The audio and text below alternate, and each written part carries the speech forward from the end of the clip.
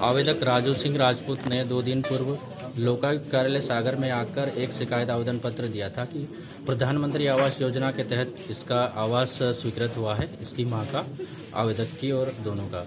और जो मुख्य नगर पालिका अधिकारी है, श्रीमती प्रियंका झारिया वो उस आवास की दूसरी किस्त उसके खाते में और इसकी माँ के खाते में डलवाने के एवज में तीस हज़ार रुपये की मांग कर रही है। जब शिकायत का सत्यापन कराया गया, शिकायत सही पाई गई, मुख्य नगर पालिका अधिकारी द्वारा उन्हीं के कार्यालय में पदस्थ सहायक राजस्व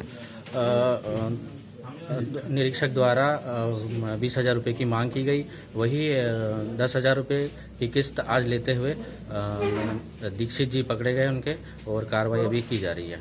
सर मुख्य आरोपी किसे बनाया गया दोनों ही इसमें आरोपी हैं मुख्य आरोपी दोनों हैं। दोनों के खिलाफ एफ़ आई आर हुई है।